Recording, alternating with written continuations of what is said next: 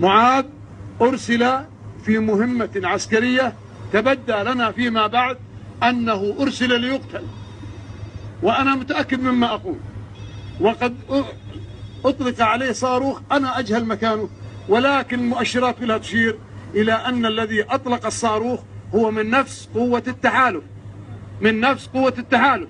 وتشير الدلائل كلها إلى أنه الذي قتل أو أطلق الصاروخ على طائرة معاذ هي الطيارة الإماراتية مريم المنصوري.